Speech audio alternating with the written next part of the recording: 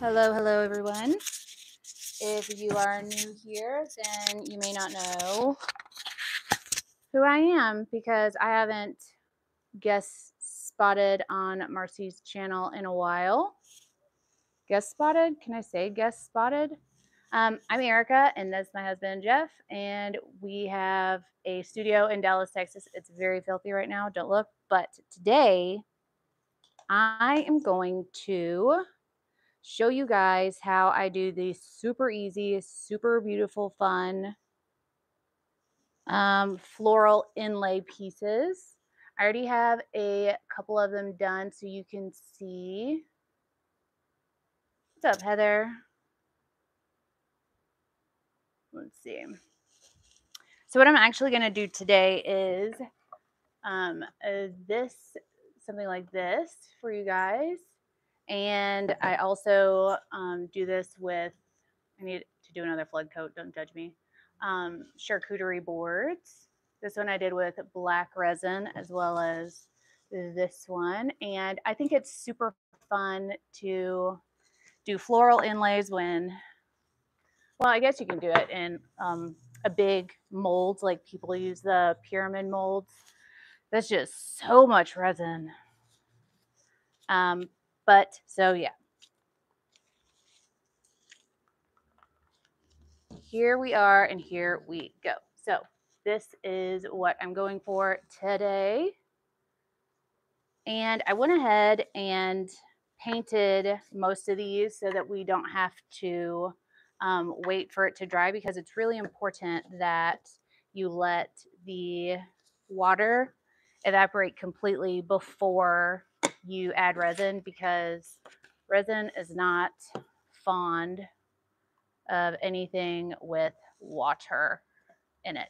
That's also why it's super important to make sure you dry out your flowers completely before you try to inlay them.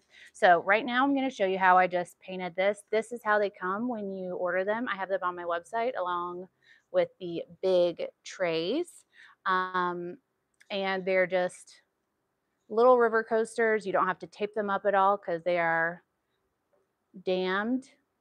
So you don't have to worry about the resin flowing out. I just used in this some water and this Daler-Rowney. I never know how to say that. I always say it absolutely wrong. Um, so just acrylic dye and water. And I'm using a very rough bristled brush. It's very, very rough. And that's okay because I want it to give kind of that scratchy, yeah, scratchy rustic look. And then I just take this dropper straight out of the bottle and put some, not necessarily knot holes, but little lines. Um, also, while I'm doing this, I just want to take a second and say thank you to everybody that's joining. I know I'm not Marcy. Can't can't do what Marcy does, but I do do a lot of different kinds of artwork on our channel, Artists Till Death. And um, if you would like to come over there and see what we're up to, we do mostly resin stuff, but also uh, wheel thrown ceramics, airbrush, body paint, um, acrylic washes, acrylic paintings, a whole bunch of stuff. So it'd be awesome to have you guys over there. So, okay. Now I'm going to let this dry and I'm going to go ahead and do these.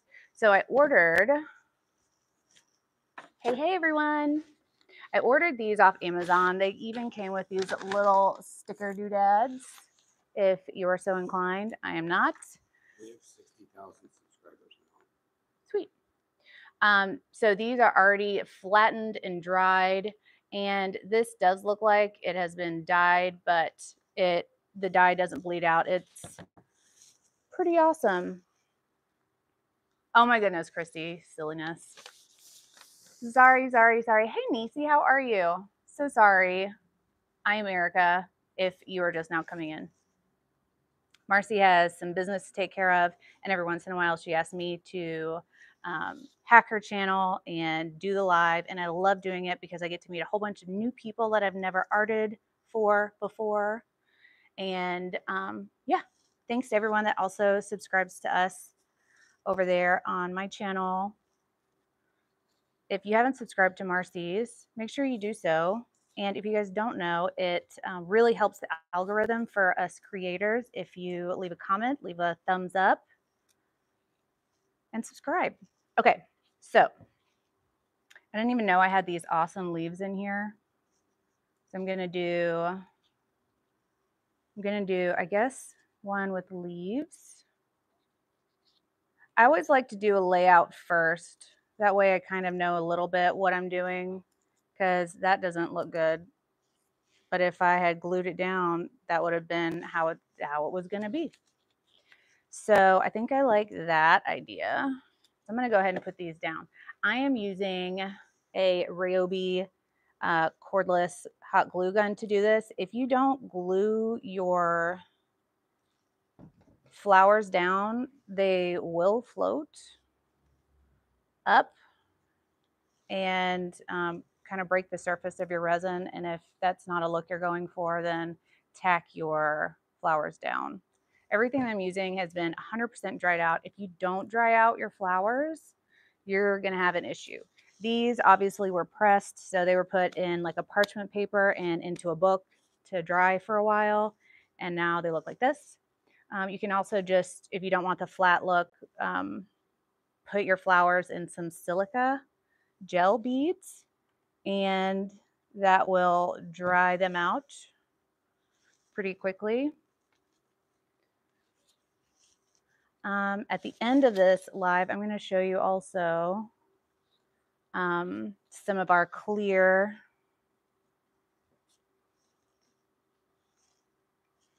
some of our clear coasters. I'm just putting a little dollop of glue in the middle. Also, also, I read, nope, did not. That was a lie someone told me that you could, um, nope, uh, freeze your hot glue sticks and that will make them not like have that long string. Ugh, that. I don't know if it's true. Have you guys ever done that? Let me know. Trying to go with flowers that all kind of complement each other. If you guys don't know, I also teach color theory and composition. Ugh. If you need help with colors or how to lay out your flowers or how to lay out a piece, I'm happy to help. I think that's good for that one. String. Right. So now I'm going to do this one real quick. And I'm going to use these pretty blue doodads that are apparently more delicate than I thought they were. Because they're just busting up. Oh my goodness, Marcy. Hello, hello, hello. Thanks for letting me crash your channel.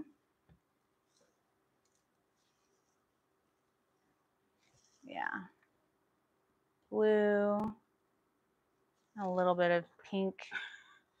I moved over here so that your hand would be out of the way and then now you're. Sorry. No.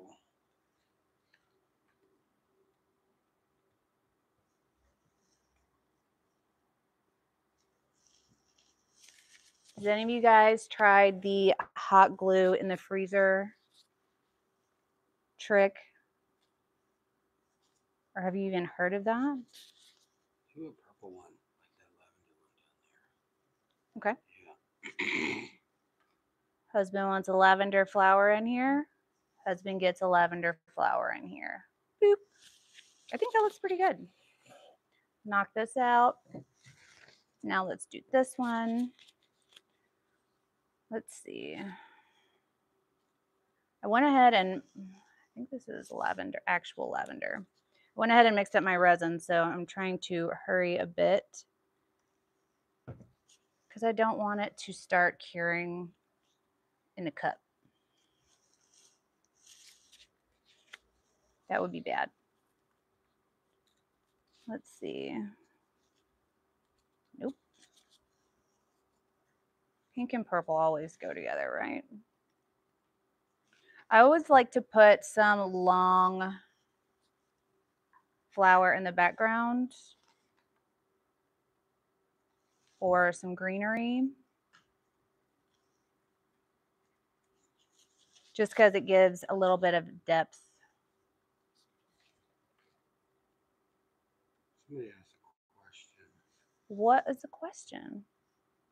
um, something about affecting the, the hot glue. And the hot glue isn't affected by the resin or vice versa. No, the hot glue is not affected by the resin and vice versa. It's as long as it's dry, it'll be good to go. This is my first one that I did, and it has lasted really nicely. This needs to dry, but since I already have the flowers out, I'm just going to go ahead and glue this down while I've got everything out.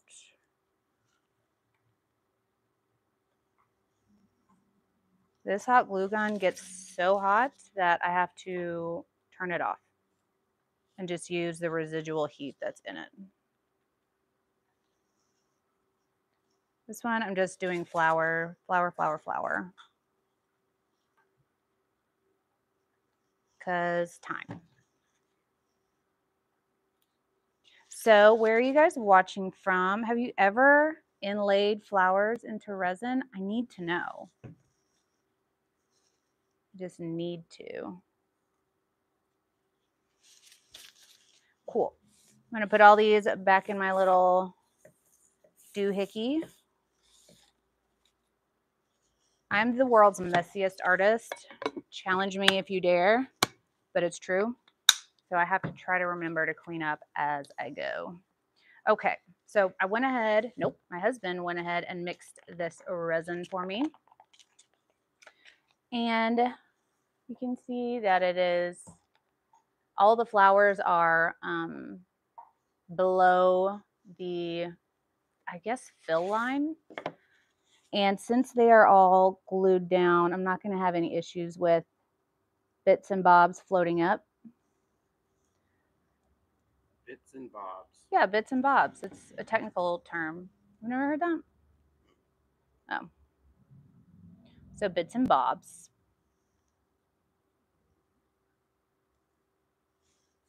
I'm just going to do a really thin layer first. Well, I thought it was going to be a thin layer because I want to attempt to pop some bubbles before moving on and filling it more with resin. Bubbles is something that people always fight with, but you can, oh, you're not doing what I just said. You can um, hit it with a heat gun, spritz it with isopropyl alcohol. The higher percentage, the better. I'm just going to use a heat gun because I don't want um, to get any alcohol and wet the uh, outside of the piece, just in case some resin kind of rolls over like that. Well, I have to demo. So I like to do um, this in layers so that I can pop as many bubbles as possible. And it looks like I'm kind of mixing the resin as I go, and that's because I am. When you heat resin, it's only going to hit the very top of the resin. And you want the bubbles, even that uh, the bubbles that are deeper to pop. And so you kind of have to fold the heat in. That was a Schitt's Creek reference. Do you guys watch that? I hope so because it's amazing. So um, the best way to be sure to get all the bubbles out is to use a casting epoxy and then to use a pressure pot to force the bubbles out. Pressure pot squeezes the bubbles literally out of your epoxy. But I don't have one of those. So I just do it this way and it's worked. I don't really care if some of the resin rolls out onto the piece because I'll just clean that off. You can wipe it off with a 90% um, or higher isopropyl alcohol.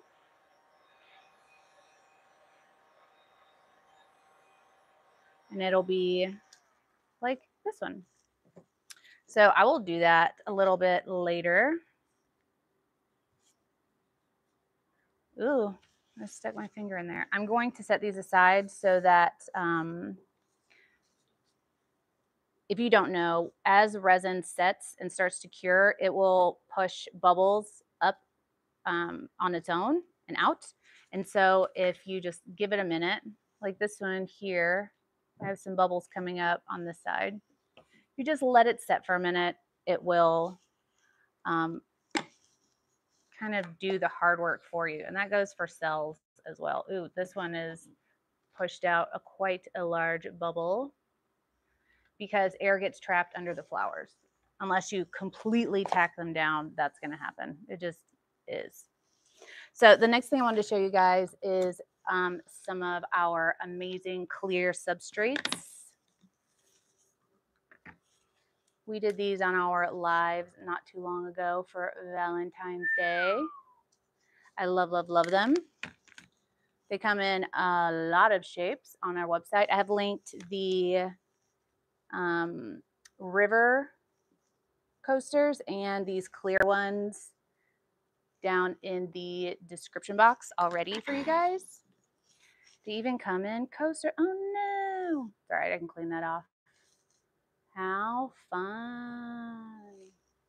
I love geodes and oceans. So today I'm just going to do a couple of our new shapes. If you don't know, our clear coasters come with this brown paper on them on the front and back. What you coasters you and sticks. Coasters and sticks. What you do is you peel off one side, the side that you're going to art on. And I don't I think Marcy has some of our shapes on her website as well. Um, you peel one side art on that side and then leave the back side for after it's cured. And then you just peel it off. And it's such an easy way to not have to do a whole bunch of cleanup. Sanding. Sanding. Gets rid of all sanding. I hate sanding. Okay, so excuse me.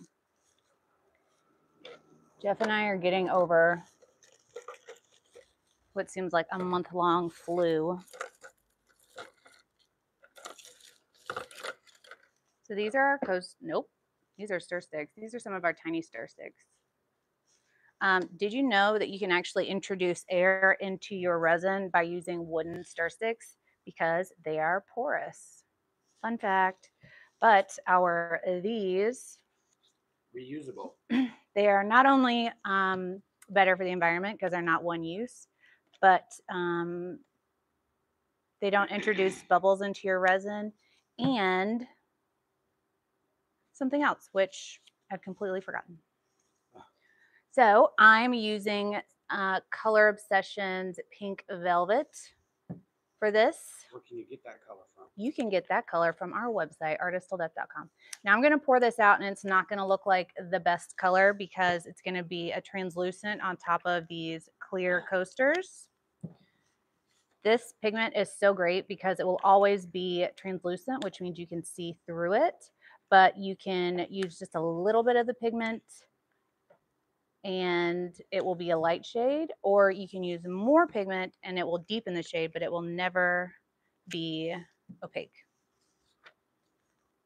So I just added a couple more drops and now I have a deeper shade. I think I'm going to do an ocean on this just because why not? Love a good ocean. So this is just going to be kind of the way I do oceans.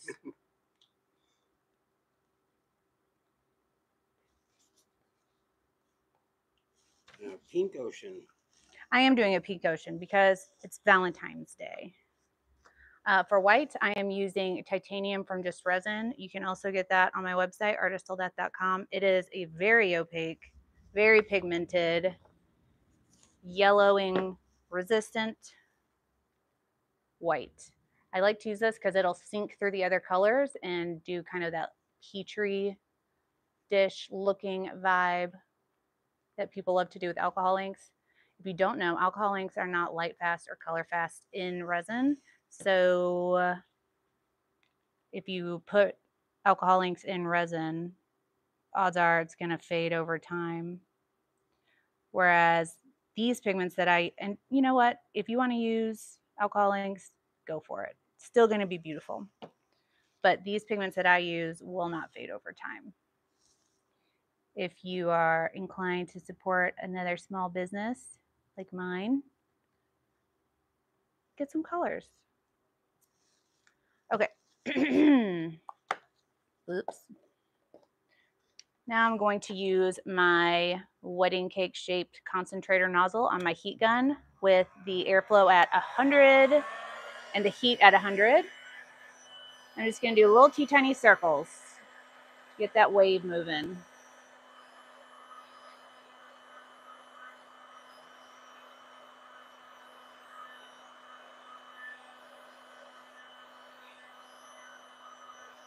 And now I'm just going to let this set and it will just cell up on its own. But I'm giving it a little bit more ripple. It wasn't doing what I wanted, so I had to do a little bit more Negotiation. uh, finagling. Let's set that aside. And we'll do our manatee. I get requests for different shaped um, what is this? Clear coasters all the time. And so our most recent one was manatee. I'm going to put just a little bit of this gold into our pink velvet and hopefully I'll get a nice Rose gold. the bottom rose gold.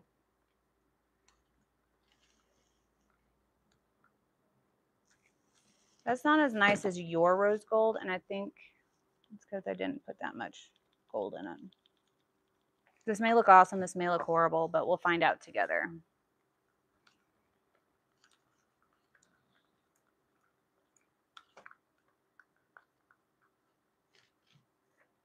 The gold kind of took over. It was just all pink and now it's just all gold. So I'm going to put a couple more drops of this in. If you guys don't know, you can put acrylic paint in resin, but if you put too much, it'll set it off and it'll make it start to cure way too soon. So now it looks like a copper color. Um, I don't know where I'm going with this, but I'm going to just swipe everything and hope it looks amazing. Um, I forgot what I was saying again. So I'm just going to swipe over this. Oh, with your hand. I'm going to make it look like he's going really fast. He is on a mission to get to his favorite beach. And this will all self level out. I think that's good. I think he looks like he is on his way to be somewhere very important somewhere.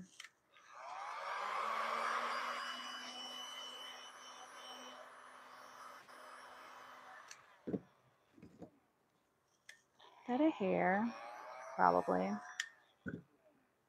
Look how cute he is.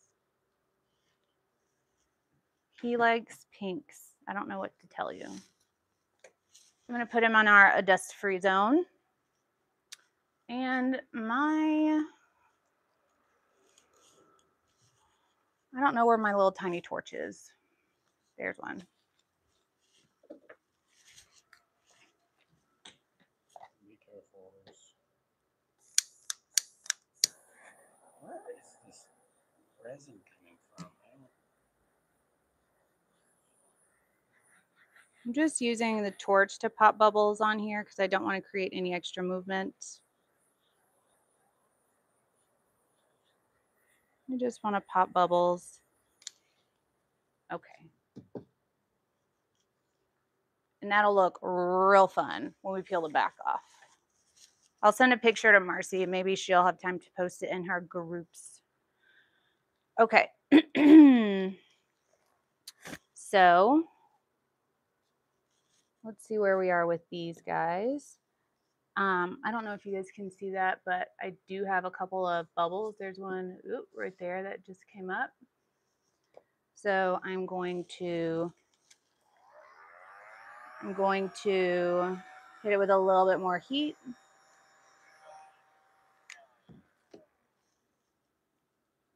And I'm going to set this aside into um, our dust free zone and let a couple more bubbles come up. I'm sure that they will. I usually babysit these types of coasters for um, that big bubble. There's two of them. I usually babysit these coasters for how long do we usually do? Like a couple hours. I'll go and check it every like 30 minutes. Somebody has to clear out of harm's way with weather. And- we're, we're in Dallas, Texas, and it's not. There's no weather over here. So in Vegas, Thank you for asking. they had an avalanche at a ski resort. They've had crazy awesome snowfall. Very jealous. In Vegas?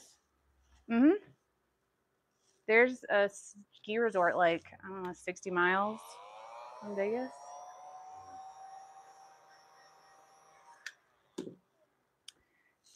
Carol, that's what I said. I think it's outside of Vegas.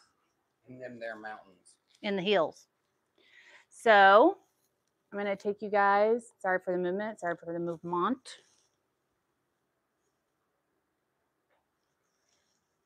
And show you the final pieces our manatee and our football that I just girlied up. So I want to know, you guys comment down below because it'll help Marcy's channel if you um, engage with her videos including this one. Um, do you like the pink and red one? The pink and purple one? The one with blue in it? Or the one with orange in it? Best. I really want to know. And you can find these coasters, both the river coasters, the river charcuterie boards, I did these on my channel if you want to see that video. And the clear substrates are all available on our website, artisttilldeath.com. And yeah, thank you for coming in and seeing what we're up to today. Sorry about my super messy um, studio. This is my big boy. We keep him in a super ventilated area in front of some windows and a fan. He needs to get groomed, but he's my super big boy. Marcy has hung out with Bowie. And this canvas, she used to be a white canvas, but now she has ambered. We should just call you Amber. Jill, I'm a purple girl too. She's half pom, half husky, full crazy. Anyways, you guys, um, thank you for tuning in seeing what we're up to. Yes, he is a Pomeranian and he makes an appearance on every one of my videos. Both the babes do. And I got to take them out. Okay, I'll give you one more tummy rubs. One more tummy rubs. Come on, get you. Um, hope you guys have an awesome evening. Be kind to one another because you never know what someone's going through. And always remember that ATD does the test so you don't have to. I hope you guys enjoyed it. Sorry I'm not Ar- Marcy, but no one can be Marcy. She's kind of amazing. And um, I appreciate you- you guys watching. Sorry I'm jumbling up my words. It's been a long day. But hope you guys have an awesome evening and um, see you guys next time. Till then, bye.